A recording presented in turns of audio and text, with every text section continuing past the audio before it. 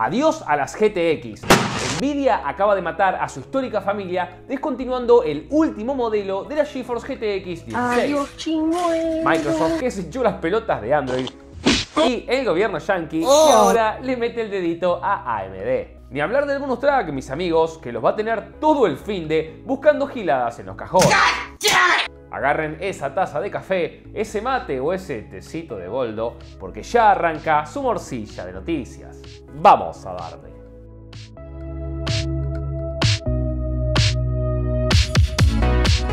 Ustedes y yo sabemos que son pocas las cosas que hacen feliz a un hombre. Sea una cerveza helada, amanecer con el amigo en la boca de tu prima y obviamente que no aparezca el cartelito de activar Windows cada vez que prendemos la PC. Gracias a los amigos de CDK Offer, esto tiene solución porque con mi código van a tener un 25% de descuento en licencias de Windows 10 actualizables a Windows 11 en esta nueva promoción de Back to School. Entrando en el link que está en la descripción van a encontrar su key de Windows 10.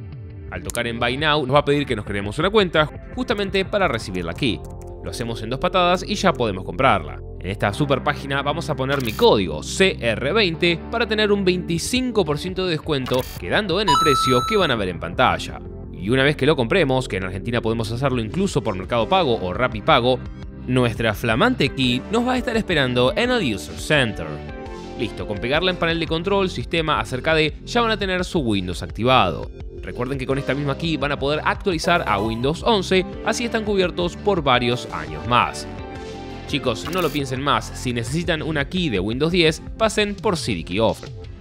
Arrancamos la morcilla con una muy buena de AMD porque estaría trabajando en mejorar su tecnología de Fidelity FX Super Resolution, ahora sí con inteligencia artificial.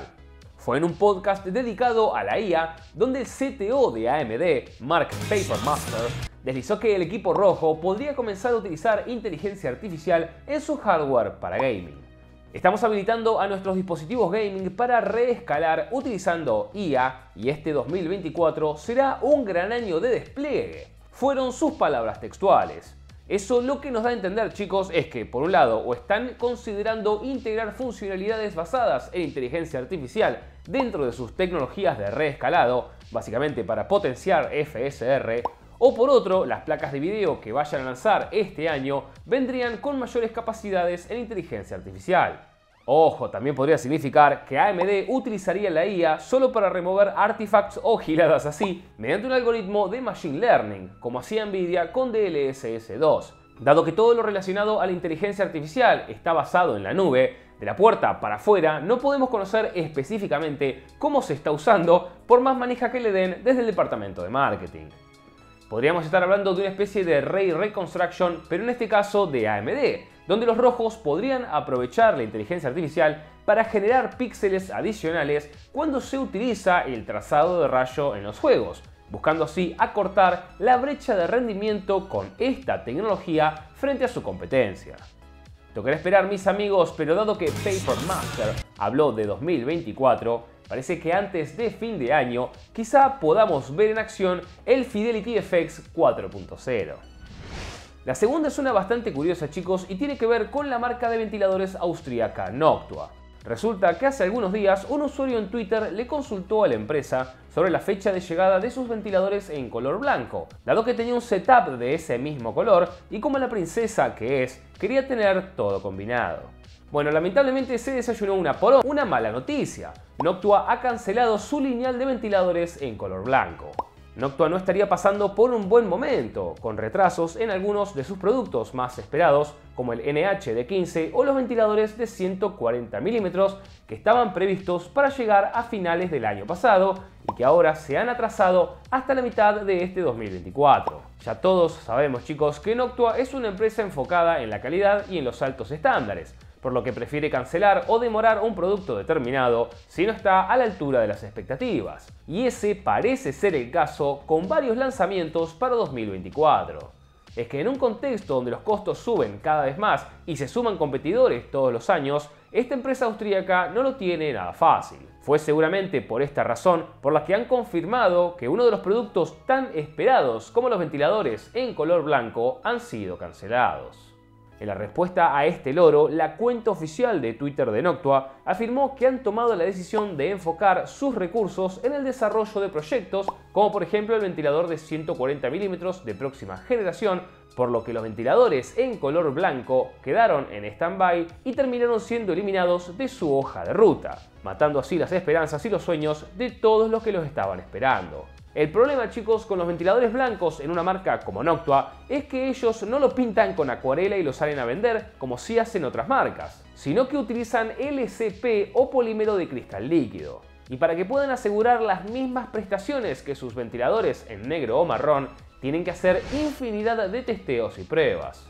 Dada la poca tolerancia del material a la deformación, para poder conseguir un color blanco hay que modificar las concentraciones de mezclas para cada color y cuanta más alta sea esta concentración, también será más alta la disminución de las propiedades del LCP y la rigidez ante cargas elevadas. Sí, yo sé que parece una boludez que no pueden hacer un ventilador blanco, pero al contrario, para lograr las mismas prestaciones que sus otras líneas con el LCP en este color blanco, tanto en el ventilador como en el marco, necesitan de mucho trabajo en investigación y desarrollo. Y dado que estamos hablando de varios productos dentro de una misma familia, se entiende que ante la necesidad de presentar productos nuevos, tengan que pausar otros que puedan demorar todavía más esa hoja de ruta. ¿Ustedes chicos usan ventiladores Noctua o han usado? ¿Qué opinión tienen de ellos? Los leo acá abajo. El que volvió al ruedo ha sido el gobierno de los Estados Unidos, que ya parece una ex rompebolas en WhatsApp. Ahora el objetivo no es Nvidia, sino AMD, pero con la misma excusa. Los chips de inteligencia artificial que le venden a China no cumplen con las políticas de la Casa Blanca. Según confirma Bloomberg, el Departamento de Comercio de los Estados Unidos le ha bloqueado a AMD la posibilidad de venderle procesadores para inteligencia artificial a China, dado que, en sus propias palabras, son demasiado poderosos. Recordemos chicos que semanas atrás esto mismo le había pasado a Nvidia, que tuvo que empezar a buscar vericuetos legales para poder vender sus productos en el régimen de Xi Jinping. Tienes razón, Miguel y amigo. Fue por eso el lanzamiento de la GeForce RTX 4090D, una 4090 bajada de rosca. Bueno, ahora le tocó el 8 al equipo rojo porque según el gobierno yankee necesitará de una licencia especial si quiere vender su tecnología para inteligencia artificial en China. En este mismo artículo del portal económico, chicos, se confirma que AMD había aprendido la lección de Nvidia y ya había recortado el rendimiento de todos aquellos productos que tenía pensado vender en China con respecto a los que se venden fuera de dicho país. Sin embargo, esta medida no fue suficiente y ahora deberá obtener una licencia adicional de la Oficina de Industria y Seguridad si quiere hacer negocios con los orientales. Esto claramente es un revés para AMD, que se había gastado seguramente unos cuantos millones para desarrollar un chip especial para el mercado chino, para competir no solo con Nvidia, sino también con los proveedores locales como Huawei, teniendo en cuenta ahora sí todos los requisitos de la Casa Blanca. Bueno, lamentablemente todo eso no ha sido suficiente y se han encontrado con una prohibición del gobierno de Biden. Eso ha generado incluso que tras conocerse estas noticias, las acciones de AMD cayeron en un 2.2%. Dado que por el momento es un misterio si el equipo rojo comenzará con el proceso de tramitar su licencia, con todo lo que eso significa, o le buscará una vuelta a este problema. En última instancia, chicos, la pregunta que nos hacemos es la misma que se deben haber hecho los ejecutivos de AMD cuando se enteraron. ¿Es rentable volver a invertir tiempo y dinero en crear otros chips más lentos que se amolden a los requisitos establecidos por el gobierno yankee? En un mercado donde encima tienen que competir contra Huawei y Nvidia. Si a Nvidia le tocó comerla en China, seguro AMD la va a tener todavía más difícil. Y si aparte tiene que volver a gastar platita en investigación y desarrollo, capaz sea un mejor negocio dejarla pasar. Hablando de dejar pasar chicos, antes de que esta se me pase, tras que el otro culo abierto se ganó el kit de la GPU y la CPU AMD, ahora les toca a ustedes. MSI acaba de anunciar otro sorteo para toda Latinoamérica, y esta vez son muchos más ganadores. Participar de este nuevo concurso es una idiotez, tenés que subir una imagen creada por inteligencia artificial teniendo como foco a una placa de video de la marca junto al clásico dragón de MSI en alguna de tus redes sociales con el hashtag PromptMagician y etiquetar a MSI. Si lo que crearon es muy original, se pueden ganar una PC gamer completa equipada con una GeForce RTX 4080 Super como primer premio o también una GeForce RTX 4070 Ti Super como segundo premio. El último premio, chicos, consta de una de las 10 Steam Cards por 20 dólares con la que van a poder comprarse el Palworld, el Hunt Showdown, el Last Epoch o el Dragon's Dogma 2. Eh, no, no, ese, no. Pueden usar cualquier herramienta de IA de texto a imagen como OpenArtIA o PlaygroundIA.com o también Pixai.art. Pero en este último que las waifus no estén en bolas porque va a estar muy difícil que los elijan. Bueno mis amigos, mucha suerte para todos y mucho huevo porque de acá sale otro ganador. Y sí señores, después de tantas vueltas, al fin está entre nosotros, la memoria GDDR7. Se trata de la evolución de la GDDR6, presentado originalmente en 2018 en una GPU de Nvidia, y que si todo sale bien, llegaría este año también de la mano del equipo verde. Fue la asociación GEDEC la que publicó esta semana el estándar llamado GESD 239 este nuevo protocolo promete duplicar el ancho de banda actual de la memoria GDDR6, llegando a los 192 GB por segundo por dispositivo y permitirá el despliegue de productos mucho más rápidos enfocados en gráficos, cómputo, videojuegos, bucaque hentai y obviamente aplicaciones de inteligencia artificial.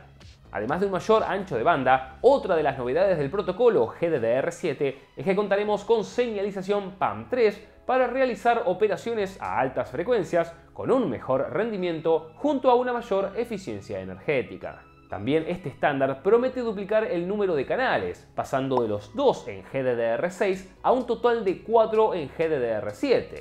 Eso significa que, por ejemplo, veremos en lugar de dos canales de 16 bits, 4 canales de 8 bits, Así, según Samsung, la memoria GDDR7 a 32 GB por segundo ofrecerá un rendimiento 1.6 veces superior. Finalmente, a nivel de capacidad, también se duplicará la cantidad de memoria disponible, pudiendo implementar chips de 16 y 32 GB con soporte para Dual Channel y así duplicar la capacidad de la memoria.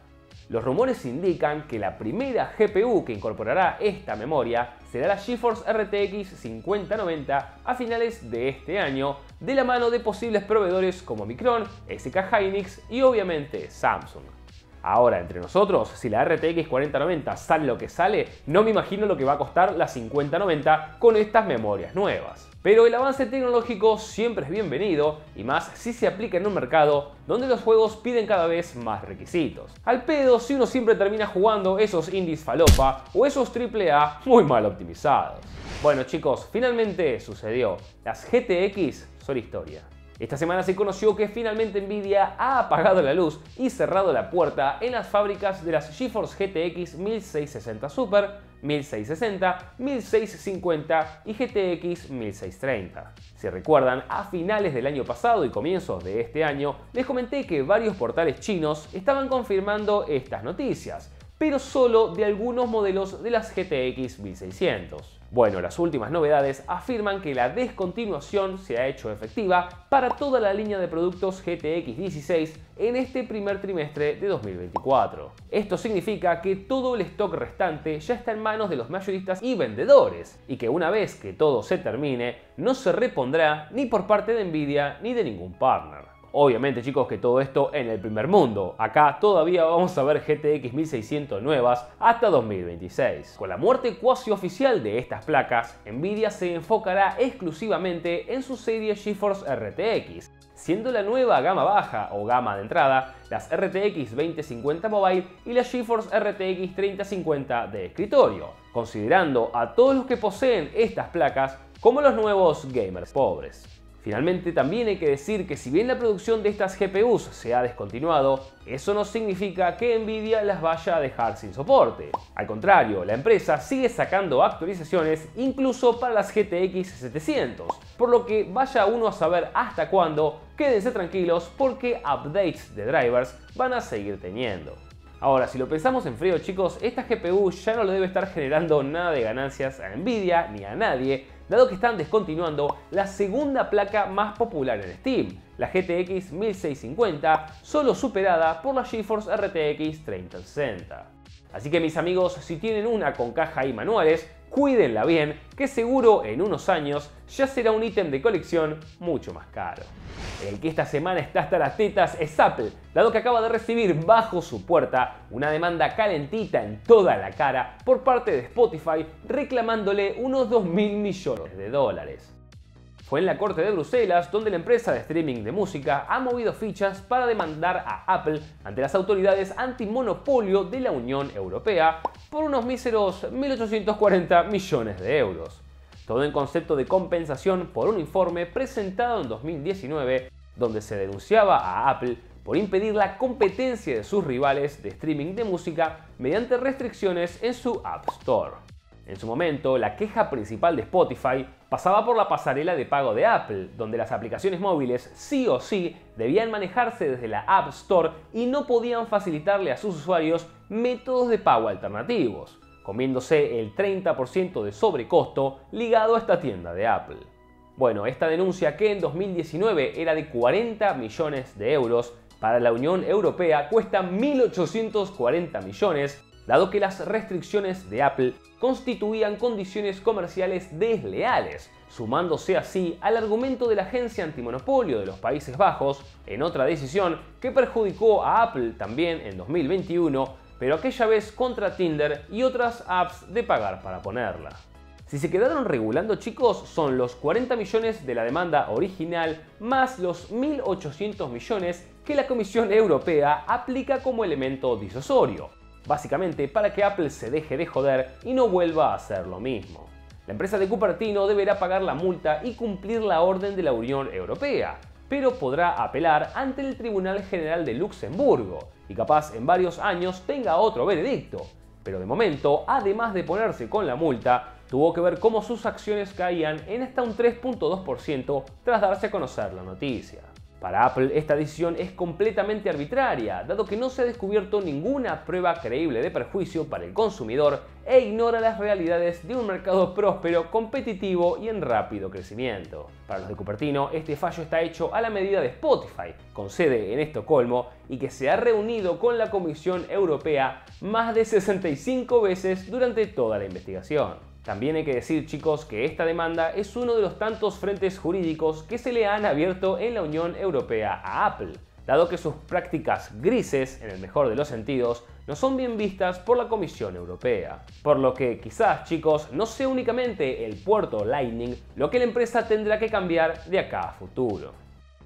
Se terminó chicos, la única funcionalidad que hacía de Windows 11 algo medianamente útil cerrará en un año. Esta semana Microsoft confirmó que la última versión de su sistema operativo dejará de soportar aplicaciones de Android en marzo de 2025. Mediante un anuncio oficial en su página de soporte, los de Redmond confirmaron que tanto la Amazon App Store como las aplicaciones y juegos dependientes del WSA o Windows Subsystem por Android dejarán de ser soportadas desde el 5 de marzo de 2025. Esta movida de incluir aplicaciones de Android en el sistema Windows fue una respuesta al progreso de Apple con sus chips M1 que corrían aplicaciones de iOS en las Mac. Si bien muchas apps suelen tener su contraparte web, no son ni en pedo igual de completas y carecen de funcionalidades que sus versiones móviles sí incluyen. Parte de la culpa de todo esto, chicos, es obviamente de Google, que se negó a permitirle a Microsoft contar con la Play Store desde el inicio, generando que un gran porcentaje de aplicaciones no esté disponible y todo con la excusa de que Windows 11 podría ganar terreno contra su Chrome OS, que si bien no despega, tampoco se muere. Por lo que parece que Microsoft se habría cansado de mediar entre Intel, Qualcomm, Google y pateó el tablero al grito de al carajo, yo me voy. Por el momento las aplicaciones que los dos o tres usuarios de Windows 10 hayan descargado seguirán funcionando como hasta ahora, dado que los developers no podrán enviar nuevas aplicaciones, pero sí actualizar las existentes hasta que Amazon se hinche las pelotas y termine descontinuando todo. Así que chicos, ¿qué se le va a hacer? Perdió Windows y Amazon y ganó Memu y BlueStacks. Toca una de las más felices de la semana, mis amigos. Las placas de video siguen bajando de precio. En Estados Unidos se ha podido ver cómo tanto la GeForce RTX 4060 Ti como la Radeon RX 7700 XT cuestan menos que hace un par de meses. Y si bien no es demasiado, se agradece ahorrarse unos pesos en un contexto tan jodido. Fue en portales como Newegg y Amazon que la MSI RTX 4060 Ti de 16 GB ha bajado de 500 dólares el MSRP a unos 469 dólares, valor que a su vez baja a 419 si tenemos en cuenta los 20 dólares de rebate y los 30 dólares de descuento.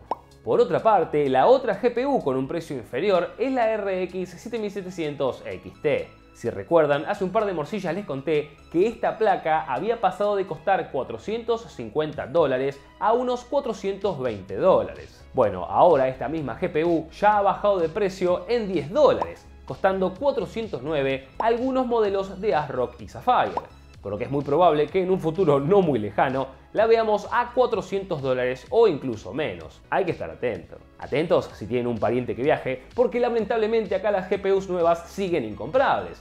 La RTX 4060 Ti de 8 GB en Argentina sale medio palo y la RX 7700 XT sale 700 mil pesos. ¡Por el culo no! Dejate de joder, loco, por esa plata me compro 3 GTX 1650 y encima me sobran 100 mil pesos. Hay que pensar, gente, hay que pensar. Vamos a cerrar el morcillón, mis amigos, con una que vale la pena que tengan en cuenta si son de bajarse giladas de GitHub. En estos días se conoció un ataque hacia esta plataforma donde se clonaron los repositorios y se republicaron con malware, pudiendo infectar a nuestros equipos si descargamos alguno pensando en que es el original. Fue por mayo del año pasado cuando se detectó que menos de 100 package managers del índice de paquetes de Python se habían clonado e infectado con malware, indicador que en julio se movió hacia los repositorios de GitHub.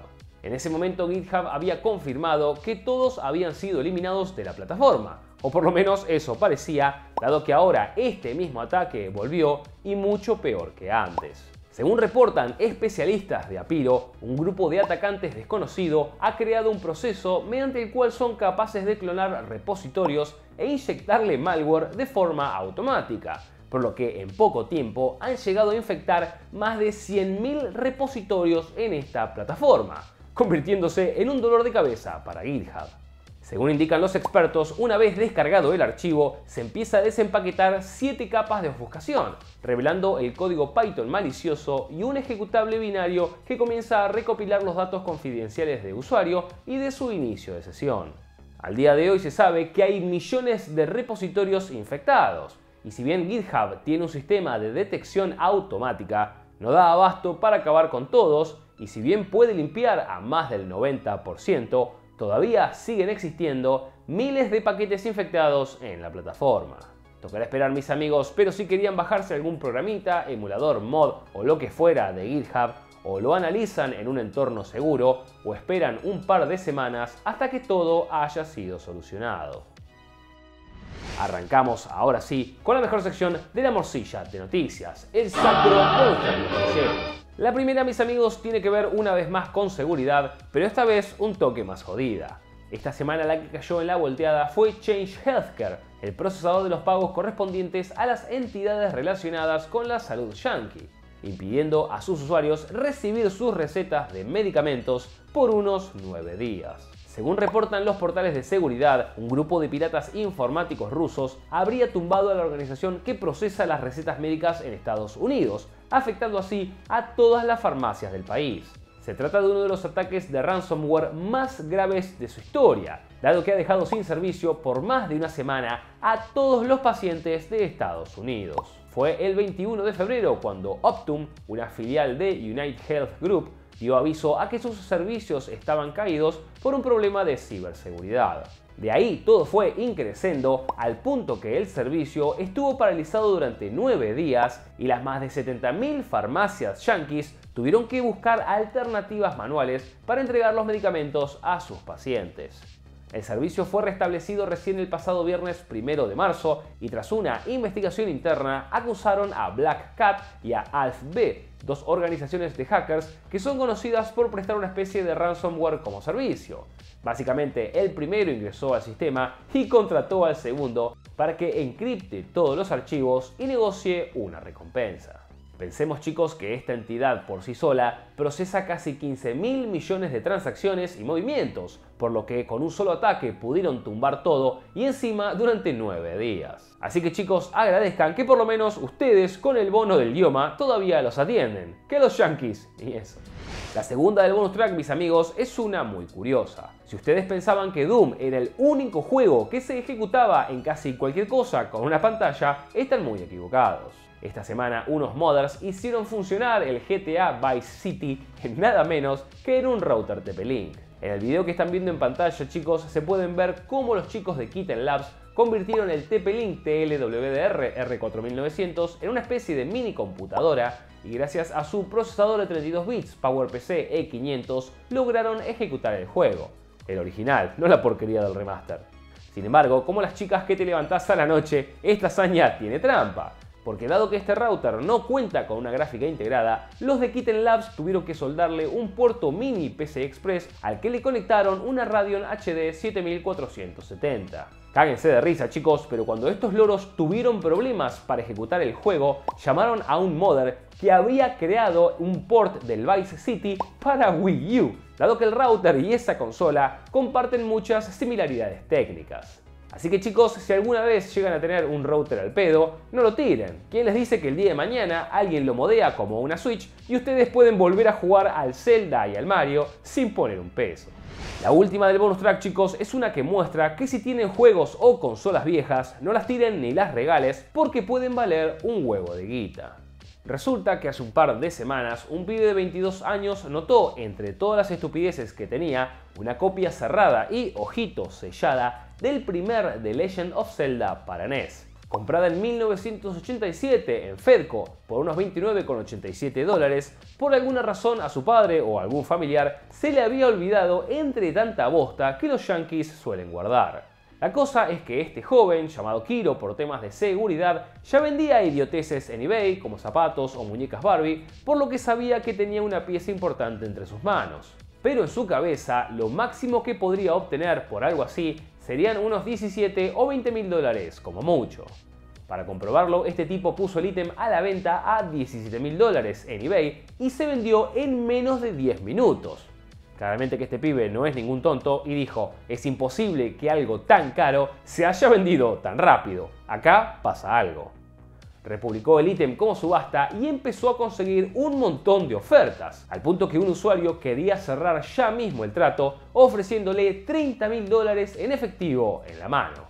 Eso no era para nada normal. Kiro cerró la publicación y la subasta, confirmando así que tenía algo especial. Curiosamente, esa misma noche recibió un mensaje de un coleccionista que le preguntó si podía ponerse en contacto con él mediante una llamada de teléfono. Esta persona en pocos minutos le explicó que en sus manos tenía el santo grial de los coleccionistas, dado que se trataba de una unidad de la primera tirada de cartuchos de Zelda para la NES, lo que lo volvía un ítem muy codiciado por los coleccionistas. Es más, la última vez que algo así se subastó, llegó a recolectar unos 705 mil dólares, cambiando así la vida de su dueño, que seguramente se cansó de garcharse gatos y falopearse a más no poder. A los pocos días, este joven se tomó un avión a Texas y llevó el cartucho personalmente a la casa de subastas de HA. El cartucho de NES se subastó la última semana de febrero y seguramente se dio cuenta ahí que no debería haber eyaculado en él, dado que solo se vendió por 288 mil dólares. Un huevo de guita, pero ni cerca de los 705 mil que obtuvo la otra copia subastada en 2021. Así que chicos, no sean loros y si tienen una caja de un juego original de Nintendo, no las guasquen porque pueden llegar a perder cientos de miles de dólares. Bueno, loros, estas fueron las noticias más importantes desde el sábado 2 hasta el viernes 8 de marzo. Muchas gracias a todos por estar del otro lado, los quiere mucho EduCamps y no se olviden de mandarle un saludito de mi parte a su prima.